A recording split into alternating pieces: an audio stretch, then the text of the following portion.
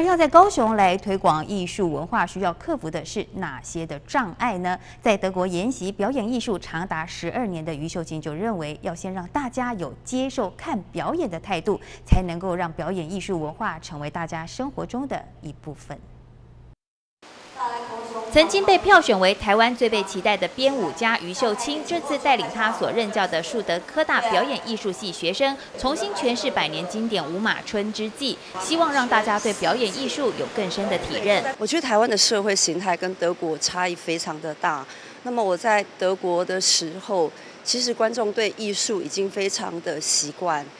它会变成是大家晚上。去搜寻的一个地方。那在台湾，我们希望把艺术更拉近民众，更亲民一点。所以在台湾的观众形式，我们会大量除了剧场之外，我们希望大量拉到户外，让不习惯看演出的人呢，慢慢慢慢更多的机会去接受以及亲近艺术这件事情。不论是彩排还是正式表演，身为舞团总监的余秀清总是不假他人之手，希望让舞者全心投入剧情，达到最完美的演出。唯有让观众看见最好的一面，才能达到推广表演艺术的目标。好，特别是南台湾专业舞者很有限，呃，可是我觉得这不是问题，只要我们有努力、有心去经营它，我想十年、二十后，我相信南台湾一定会有一批非常非常优秀的舞者，特别是今天，呃，有很多是大一、大二非科班的舞者。可是，在三四个月的集训下，他们身体的能力已经到了一种指标。我希望给观众很多的 surprise，因为观众真的不知道他们是非科班的，可以练到这种程度，真的是不简单。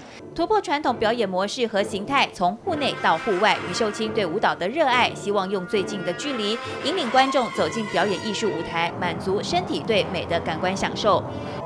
港都新闻黄兰君、周辅庆采访报道。